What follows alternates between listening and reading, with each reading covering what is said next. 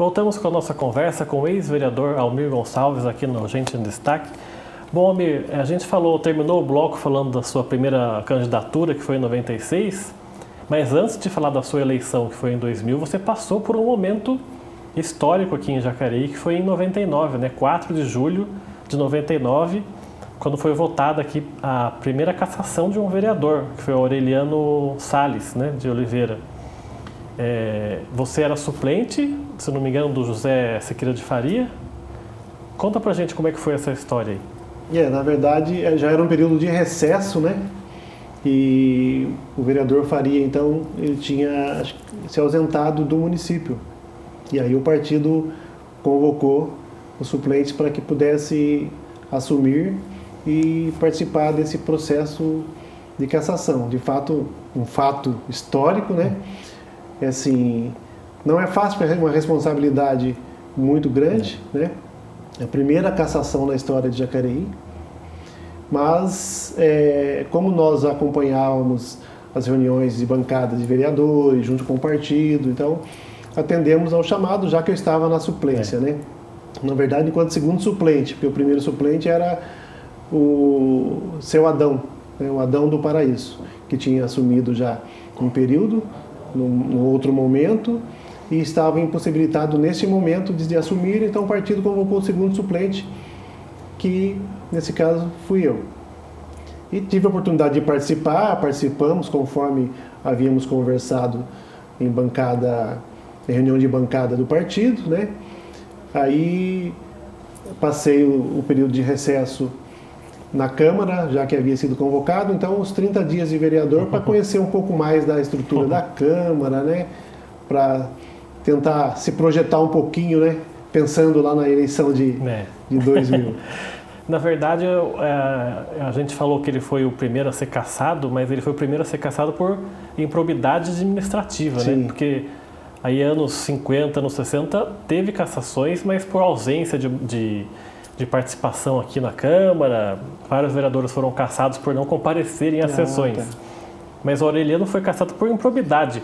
Ele, para deixar contextualizado, ele tinha denunciado vários vereadores aqui de um problema, não lembro se era com os carros dos vereadores ou não lembro o que que era e aí os vereadores pegaram um problema da esposa dele, né, que, que era contratada da Câmara e não tinha, não, não vinha trabalhar. Isso, trabalhava em casa, né? Trabalhava em casa. Daí eles colocaram o processo da cassação e ele terminou cassado, né, em 99. Sim, foi uma cassação, foi uma, uma sessão extraordinária demorada, né? Nós ficamos praticamente ele estava na sessão todo, Aureliano. Estava. O dia todo e parte da noite. E Diante dos fatos apresentados, ao anoitecer foi, foi realizada a votação. Eu lembro que foi cassado por 13 votos, 12 votos, né? Ele era o, é. O 13 terceiro. E esses 30 dias que você ficou aqui, deu para aproveitar de que forma? Porque não estava tendo sessão de Câmara, mas você, como é que você é, pôde aproveitar o tempo como vereador? Olha, Rodrigo, eu, eu, eu, eu penso que todos que pleiteiam a vaga de vereador deveria ter a oportunidade de conhecer a estrutura de uma Câmara Municipal um dia. Primeiro para entender como é que é o processo, como é que funciona a estrutura organizacional da Câmara. Segundo, que ele vai ter oportunidade de entender um pouco mais do que é ser vereador, né? Que, que muitas vezes muitas pessoas querem ser, né? E quando são e são eleitos, de repente se deparam com, né, e agora? O que, que eu faço? Qual é a função do vereador? Né? Qual é a função, é, para que serve de fato esse pleito que eu tanto eu busquei? Né? Então esse período acho que deu essa oportunidade para ver de, de, de, diversas formas o funcionamento disso. Né? Até para pensar que mandato eu quero caso eu seja eleito no futuro. Né? E hoje eu vejo que acontece muito disso, da pessoa ser candidata, é, é, livre, todo mundo pode ser candidato, mas é, é, de conhecer tudo isso depois que já está aqui. É. Né? Então, se houvesse esse processo, é, vou usar uma palavra no poder público que a gente usa muito, que é o, o probatório, né? talvez as coisas pudessem ser um pouco diferentes, até, até para poder o, o, a pessoa eleita, o vereador eleito, saber o que é que ele vai propor, né? Porque nós entramos aqui eleito com uma, uma vontade imensa de tudo, é. né? E aí você começa a querer tudo, mas daí você começa a perceber que, ó, isso eu não posso, porque isso não cabe ao vereador. É, e a população vem cobrando, vem né? cobrando. Quero asfaltar minha rua, me dá o um emprego. Exatamente. Ilumina minha rua. E a, e a população, quando te elege, principalmente, é, é, no meu caso, eu tive 80% dos votos na região do Esperança. É. Né? Então a população do Esperança, ela vai esperar muito de mim. Por dois motivos. Primeiro, que eu fui eleito e conheço os problemas do bairro, estou morando ali. Segundo, que além de ser eleito vereador, eu fui eleito como prefeito do meu partido, então está tudo mais fácil. né? O que na verdade não é isso que é. acontece. Né? Porque é, existem demandas na região na qual as pessoas mais te conhecem, mas você é eleito para a cidade, o município como um todo. Né? Você também é. teve menos votos, mas teve votos fora da, da região. Então você não pode simplesmente falar, não, eu fui eleito e eu só represento né, o meu bairro. Não existe isso. Representatividade de bairro é associação de moradores de bairro. Né? Mas o entendimento disso da população é complicado, porque ela não quer saber. Né? Eu votei em você, você mora aqui, nós temos problemas, você precisa resolver. E a gente é óbvio que temos muita vontade de resolver. Né? Mas o resolver é, é, se depara numa série de fatores que independe do vereador. Né? Então, assim, digo que é mais fácil hoje você ser um executivo do que um legislativo, né? Porque a comunidade pede para você executar, só que quem executa não é você, é o prefeito, né? Então existe aí uma, uma dinâmica totalmente diferente que não sei se em vida ainda a gente consegue ver isso, né? Mas era necessário, porque senão fica apenas um jogo de interesse e, e muitas vezes um interesse particular. É. Né? Às vezes eu quero que o problema maior é o buraco que está na porta da minha casa. E eu esqueço que um bairro ele não tem só a rua da minha casa, né? Mas é difícil o entendimento. Aí a gente chega então em 2000, da sua eleição como vereador, que aliás foi a eleição que o PT assim, varreu de cabo a rabo, porque o, a maior, até hoje a maior diferença numérica de votos de um primeiro colocado de segundo de candidatura a prefeito foi o Marco Aurélio em 2000, com a Magai sendo segundo colocado. O Marco Aurélio teve 53 mil votos e o Amagai teve 19 mil, que foi o segundo lugar. Sim. E o PT elegeu cinco vereadores. Uma, uma um fato que não acontecia desde os anos 80 com o PMDB, quando só tinha poucos partidos. Sim, sim.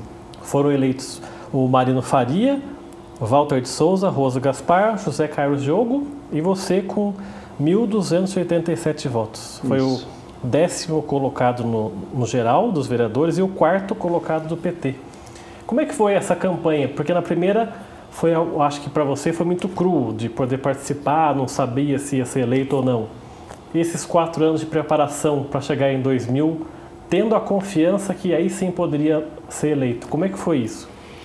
Então, acho que é, 96 é, acho que apontou muito bem esse crescimento do partido, não só na cidade, mas foi um avanço é. a nível nacional.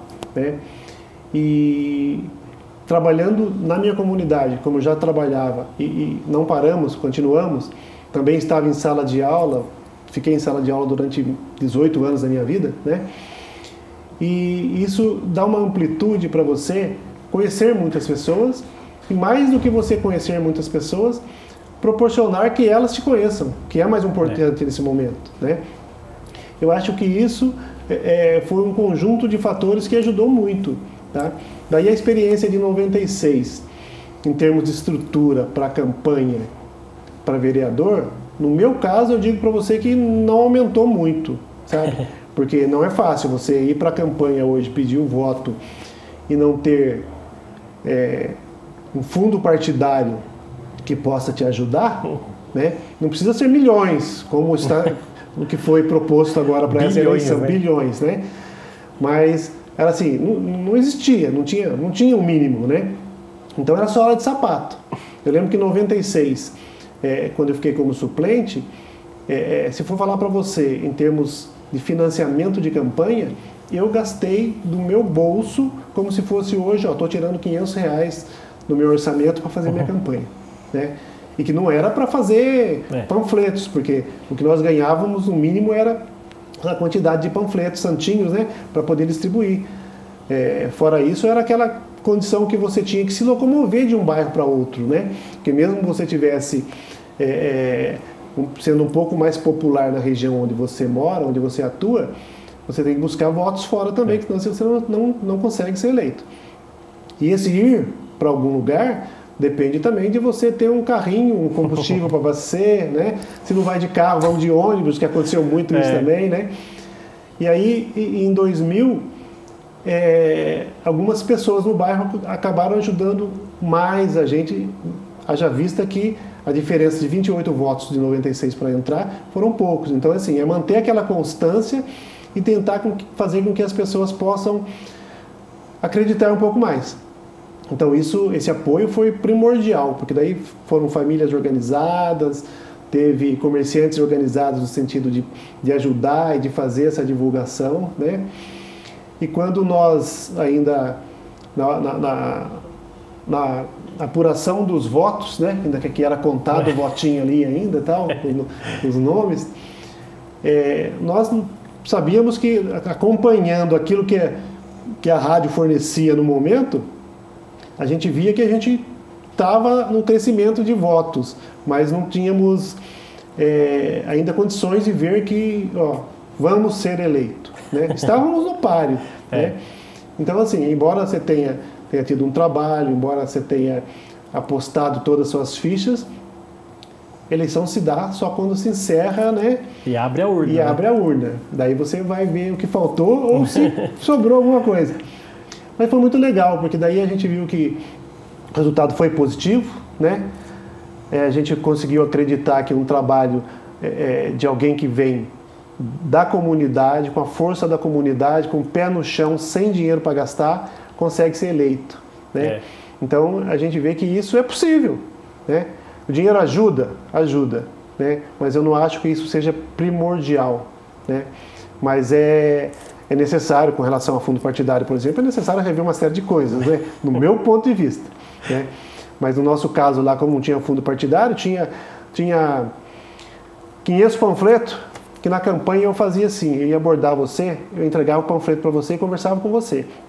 Se você falasse para mim algum retorno negativo, que eu não voto em você, ou não voto no seu partido, ou já tenho candidato, eu pedi licença para ficar com o panfleto de volta, porque eu tinha que aproveitar é, ele para alguma outra pessoa, né? E assim foi feito. Eu acho que eu, com, com a eleição gerou a expectativa na comunidade, aquilo que nós havíamos dito, né? Um pouco nós conseguimos, outras coisas as pessoas é, é olham para a gente e acreditam que não, não foi conseguido, né? uns ficam felizes, outros se frustram, mas não conseguimos agradar todo mundo. Né?